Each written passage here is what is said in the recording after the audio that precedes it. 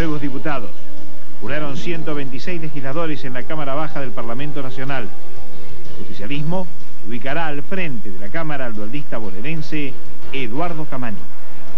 Yo le voy a pedir al señor presidente de la Nación que no prorrogue las sesiones extraordinarias nada más que por unos días de diciembre.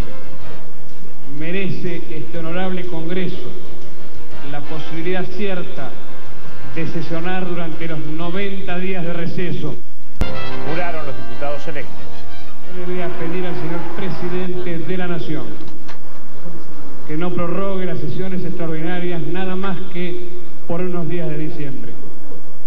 Merece este honorable Congreso la posibilidad cierta de sesionar durante los 90 días de receso. La patria lo necesita.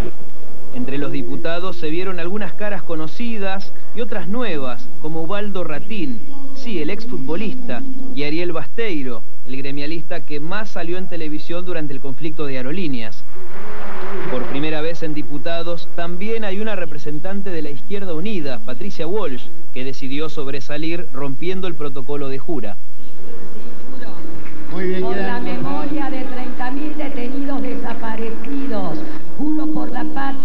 poner mi banca al servicio de las luchas obreras, populares y piqueteras.